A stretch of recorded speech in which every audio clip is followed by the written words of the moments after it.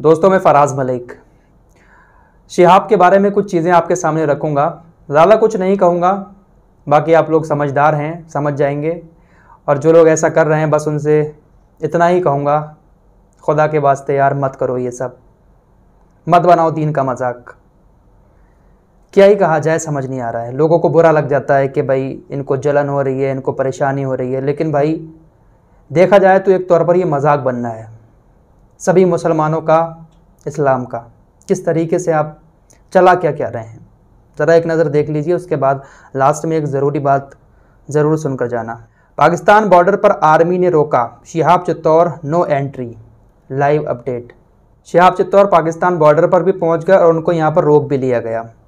एक और वीडियो देखिए, शिहाब भाई का पाकिस्तान में स्वागत। Shihab welcome to Pakistan. अच्छा भाई, पाकिस्तान पहुँच गया एक और देखिए पाकिस्तान में शिहाब का भव्य स्वागत।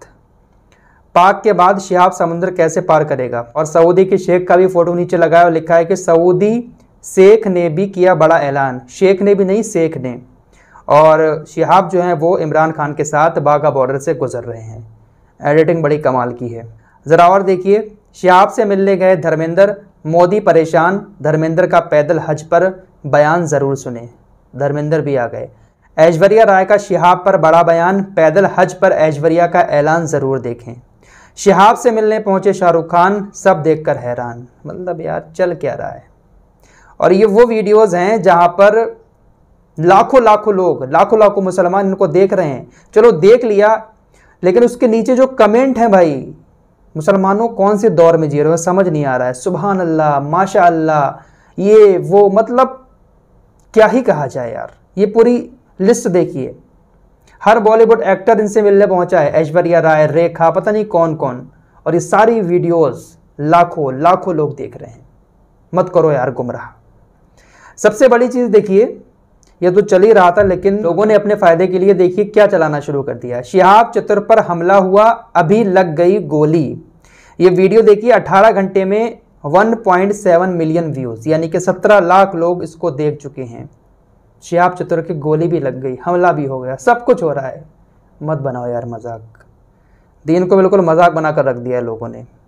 आप सीधी सीधी लोकेशन डालें शिहाब कहाँ पर रुके हैं, कहाँ पर नमाज़ पढ़ी है, ये इन्फॉर्मेशन अगर आप लोग देंगे तो अच्छी है, लेकिन ये क्या चीज़ दिखा रहे हैं आप, समझ नहीं आ रहा है।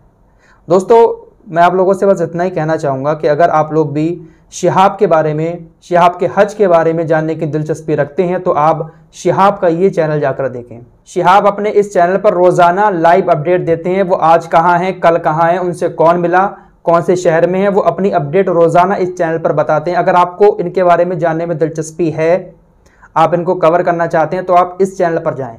यहाँ से लेके आखिर तक, सऊदी अरब तक आपको इसी चैनल पर जो इनका खुद का चैनल है, सारी अपडेट देखने को मिलेगी। लेकिन ये जो फेक वीडियो आ रही है ना, कोई कह रहा है कि पैरों में छाले पड़ गए, कोई कह रहा है कि उनके पीठ में छाले पड़ गए मतलब क्या ही चल रहा है यार, समझ नहीं आ रहा है। और ये सब वो लोग हैं जो बहुत गाढ़ा सलाम करते हैं। अस्सलाम वालेकुम वरहमतुल्लाह ऐसा कह के जब ये आते हैं और थोड़ा सा दीन इस्लाम की बात करते हैं तो लोगों को लगता है कि यार ये बहुत अच्छा चैनल है, बहुत अच्छी बातें करने वाला है। और उसके नीचे फिर लोग अच्छे अच्छे कमेंट करना शुरू कर देते हैं। देखिए, मुझे किसी से पर्सनली कोई प्रॉब्लम नहीं है। आप कुछ भी बनाएँ, लेकिन आप फेक वीडियो बनाते हैं, बनाते रहें, लेकिन दीन के ऊपर इस तरीके से मज़ाक बनाना, इस तरीके की वीडियो बनाना ये बिल्कुल गलत है। प्लीज़ यार, समझो बात को। ऐसी वीडियो कुछ दिन चल जाएँगी, आप थोड़ा बहुत पैसा कमा लेंगे, लेकिन उसके बाद आपकी कोई वैल्यू दिखाई नहीं देगी चैनल पर। आप कोई और कंटेंट डालेंगे, आपका चलेगा ही नहीं, क्योंकि आपने झूठ का सहारा लिया है। आज अलहमदिल्ला आप लोग मेरे चैनल पर देखते हैं कि हर वीडियो लाखों लाखों व्यूज़ आते हैं, चाहे मैं कोई भी टॉपिक उठा इसका सबसे बड़ा रीज़न यही है कि आप लोगों ने मेरे ऊपर भरोसा किया है और मैंने आप लोगों का भरोसा कभी तोड़ा नहीं है। इसीलिए मेरे हर टॉपिक पर बहुत सारे व्यूज़ आते हैं। आप अगर सही से भी जाएँगे, सच्ची तरीके से भी न्यूज़ रखेंगे, तब भी आपके व्यूज़ आएँगे। लेकिन इस तरीके का सहारा मत लो। दोस्तों, शिहाब के ना तो कोई गोली लगी है, ना कोई उनके ऊपर हमला हुआ है और ना ही अभी वो पाकिस्तान पहुँचे हैं। लेकिन लोगों ने तो स्वागत भी करा दिया पाकिस्तान में। करंट लोकेशन उनकी जो है वो गुजरात की है, गुजरात के मोदासा में है वो।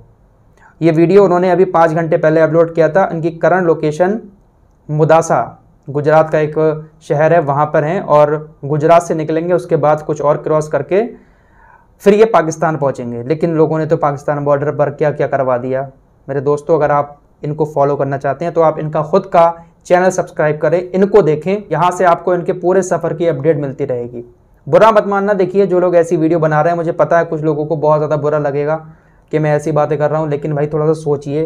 दीन इस्लाम को आप किस तरीके से एक मज़ाक में उड़ा रहे हैं? एक बंदा हज करने जा रहा है, इतने अच्छे दर पर जा रहा है और उसको लेकर आप कैसी कैसी वीडियो बना रहे हैं? आप मुसलमान होकर इस तरीके की बातें कर रहे हैं तो ये बहुत शर्मनाक चीज़ है।